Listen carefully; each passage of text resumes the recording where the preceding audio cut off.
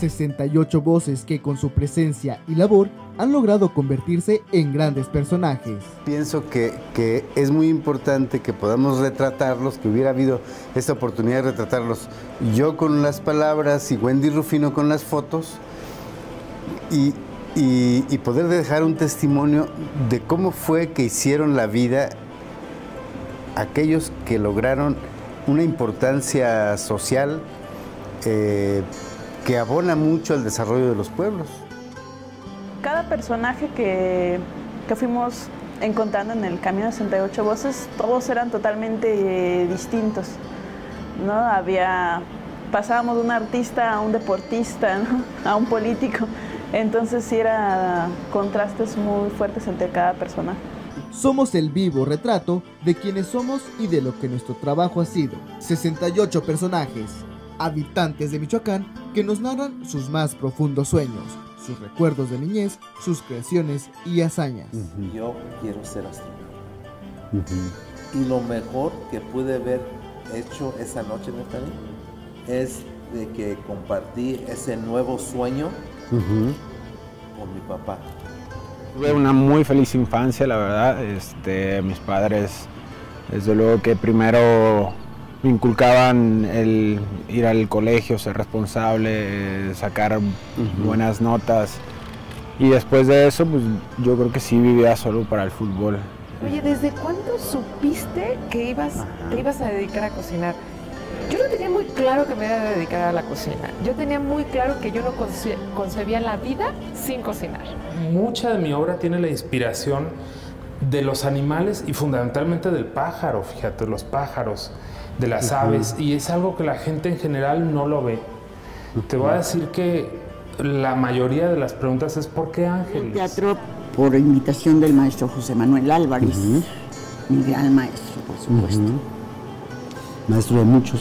Sí, claro, de muchísimos que ahora son maestros o grandes actores o grandes empresarios, han sido rectores de la universidad, este, bueno, todos esos compañeros de hace más de 45 años. Saba, el agua me llega como por aquí, o sea, digo, cómo cambian las dimensiones, ¿no? Pero yo me enamoré de la natación, mi mamá lo vio y pues ahí empezó la historia.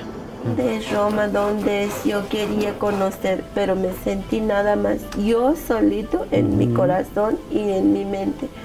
A nadie, a nadie lo, lo conté yo, yo, yo voy a ir a Roma, o me están diciendo que yo voy a ir a Roma. Cuando ya faltaba tres días, yo ya conté a mi mamá, a mi esposo, a mis hijas, que, que vamos a ir a Roma.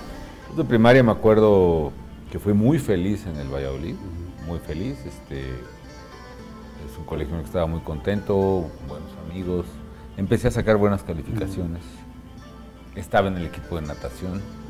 este, había alberca. Se acostumbraba mucho a jugar, no sé si usted haya sido de ese tiempo, los famosos aguaciles, aguaciles que se hacían hasta dos partidos, ¿no? Sí. Cuatro para allá o cinco, sí, sí. según el número que eran para otros, que unos estaban y alcánzame y te quedas este, encantado aquí y todo. Y hasta que encantaba un grupo a todo, el otro grupo, se cambiaban las, las situaciones. Ya el otro grupo era el que tenía que entonces andar persiguiendo uh -huh, y todo. -huh. eh, era el juego más este, común que se tenía en las primarias y eventualmente efectivamente la vida me trajo de regreso a la empresa familiar y, uh -huh. y muy contento de, de, haber también tomado esta oportunidad porque he estado en dos etapas distintas en Cinépolis y me ha tocado ver la, la transformación de Cinépolis y la evolución y la internacionalización uh -huh. y la institucionalización de la empresa, así que ha sido una buena aventura. Y la arma, yo sé mucho de pistolas, no hay alguien que sepa más de pistolas que yo ni judiciales, ni asesinos, ni nada, tan pendejos. Eh, yo sé desarmarlas, sé cuánto cuestan, qué origen tiene, qué alcance tiene. Tengo libros que hablan sobre armas, pero el arma más poderosa del padre pistolas es la bondad. 68 voces, una colección de retratos literarios y la oportunidad de acercarnos de manera fresca y llana a personajes vivos que transforman nuestra realidad. A través de la escritura, en unión con la fotografía y el video como dos miradas que calcan la imagen de la persona para mostrar su rostro de manera más profunda y fiel. Este es el objetivo del proyecto televisivo, literario y fotográfico Vivos Retratos 68 Voces.